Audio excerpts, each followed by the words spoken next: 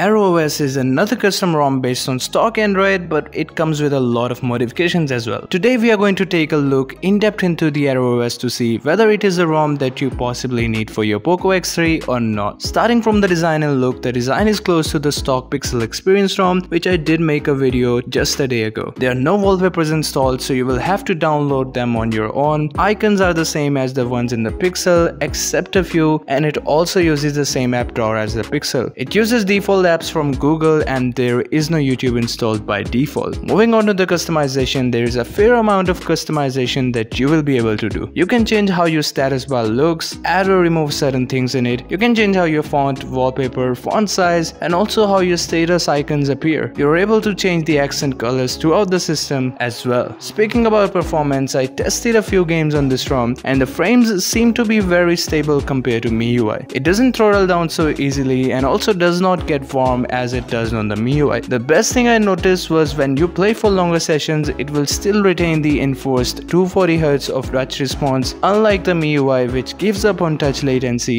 as soon as it detects high battery usage. Speaking about battery, truth be told, I was never able to kill my POCO X3 in a single day even on the MIUI. So the battery here does not surprise me at all. I won't say it's better than the MIUI but after considering that the 120Hz display was enforced at all times and the UI did not jitter or even stutter for a second, there are great great benefits of this ROM over the MIUI even in the battery life. Bugs. After using it as my daily driver for over a week now, I'm surprised to say that we have come a long way in the custom ROMs development. There were no bugs on this custom ROM as far as I've tested. The only minor bug, if you want to call it that, was that once when I was on a Teams meeting and I installed the new apps, they were asking for permissions but I was not able to click on them to allow or deny them and it got fixed by a single restart and it has not occurred to me anymore. So my verdict is that that's it for the today's review and I can surely recommend this ROM after testing it for so long